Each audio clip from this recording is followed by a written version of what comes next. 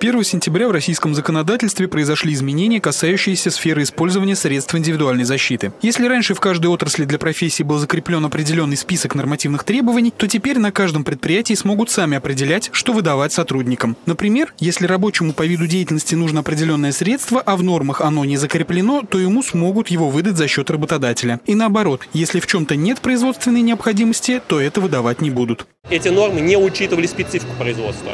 В настоящий момент, с учетом а, риска-ориентированного подхода, а, теперь работодатели могут немного корректировать с учетом условий труда, каких трудится их работников, эти самые выдаваемые средства индивидуальной защиты. Об этих нововведениях представителям самарских предприятий рассказали на форуме выставки «Промышленный салон». Лекцию провели специалисты городского департамента по управлению персоналом и областной инспекции труда. Работодателям разъяснили, что они сами смогут закреплять необходимый перечень во внутренних документах. Если им необходима помощь или консультация, то они имеют право обратиться в вышеуказанные инстанции. Это не несет никакой нагрузки на работодателя, то есть э, он пишет нам письмо, просим провести профилактическое мероприятие э, и указывает вопросы как раз-таки по обеспечению средствами индивидуальной защиты.